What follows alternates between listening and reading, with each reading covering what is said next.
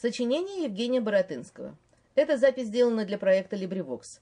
Все записи LibriVox являются общественным достоянием. Для справок и помощи проекту посетите, пожалуйста, сетевую страницу LibriVox.org. Евгений Боротынский. 1825-1826 года. Поэма «Телема и Макар». Читает Евгения Хазанова. Телема пламенна, игрива, но чересчур нетерпелива. И непременно прельщена то тем, то этим. Беспокойство всегда душа ее полна.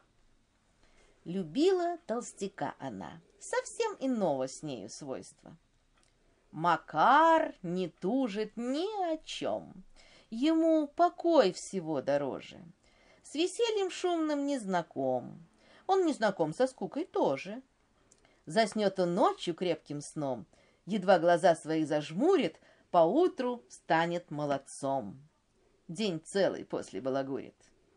В любви причудливой своей к Макару часто нестерпимой была Телема, милым ей хотелось быть боготворимой.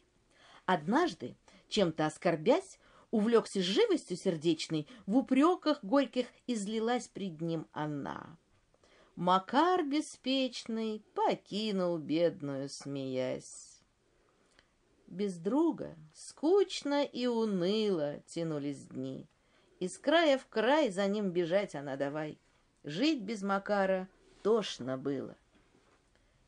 Надежды детскую полна, приходит в царское она. Того ли встретит, или другого.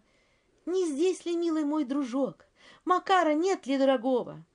Никто без хохота не мог услышать имени такого. Какой Макар тобой любим? Как разлучилась ты с ним? Что он, голубушка, за диво? Она в ответ нетерпеливо. Нет лучше друга моего. Благоразумен, доброхотен, веселонравен, беззаботен. Все любят искренне его. Не ненавидя никого, он сам никем не ненавидим. «Ступай», — ответствовали ей, — «здесь нет его. Таких людей мы при дворе совсем не видим». Решилась далее идти, моя беглянка молодая. Заходит в лавру по пути, Макара мирного найти всей мирной пристани мечтая. Егумен ей, признаться вам, его мы долго поджидали.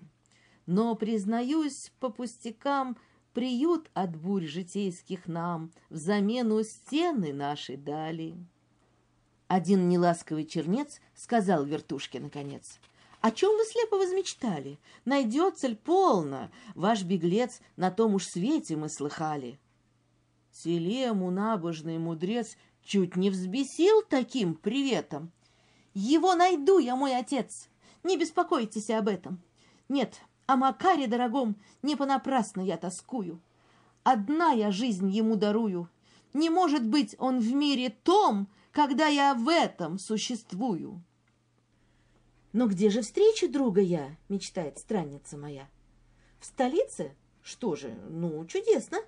Между певцами, верно он, которыми изображен он столь искусно и прелестно. Один из них ей молвил так. Вы обманулись и никак.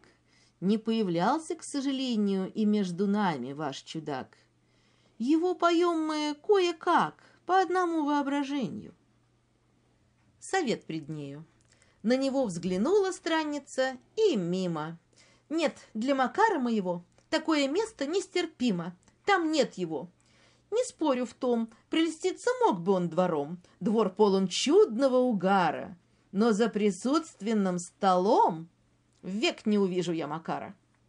Надеясь друга повстречать, Телема стала навещать гулянья, зрелище столицы, ко всем заглядывала в лица по пустякам приглашена в дома блестящие она, где те счастливцы председают, которых светским языком людьми с утонченным умом, людьми со вкусом называют.